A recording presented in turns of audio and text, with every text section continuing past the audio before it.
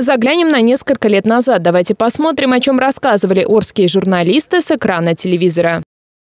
Проблемы утилизации отходов журналисты студии Орск ТВ встречаются не впервые. Но в первый раз мы встретились с проблемой утилизации медицинских отходов. Воздух – один из главных компонентов жизнедеятельности человека. Окно выходит как раз на эти помойки.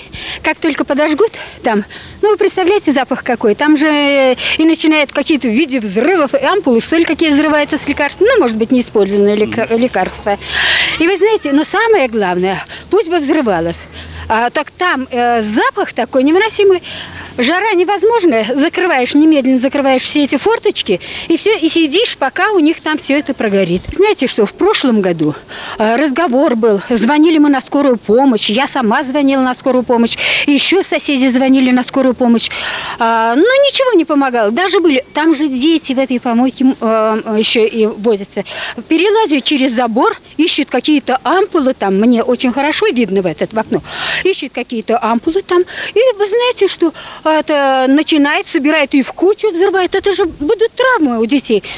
Мы находимся на территории второй детской больницы. Э, у меня за спиной э, находится помойка.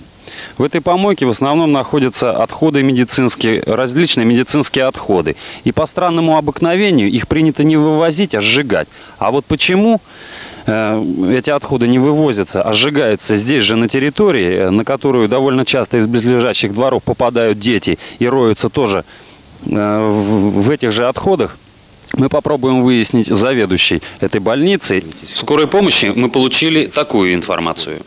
Что касается шприцев, то утилизация происходит следующим образом. После того, как шприц использован, бригада его сдает в стерилизационную.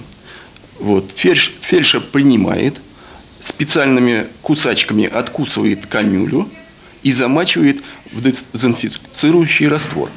После определенного количества времени эти шприцы оттуда вынимаются и э, кладутся в коробку.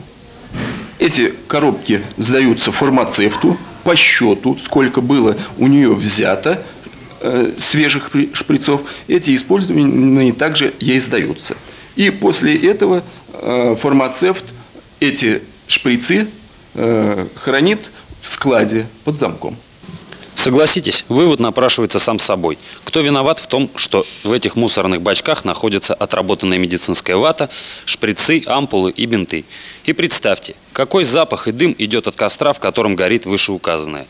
Единственное, кто, пожалуй, не виноваты, это дети. Ведь мальчишки есть мальчишки. Они просто не понимают, какую опасность несет в себе общение с подобными отходами. А родителей хочется попросить быть повнимательнее к детям, дабы не обращаться за помощью в ту же детскую больницу номер два.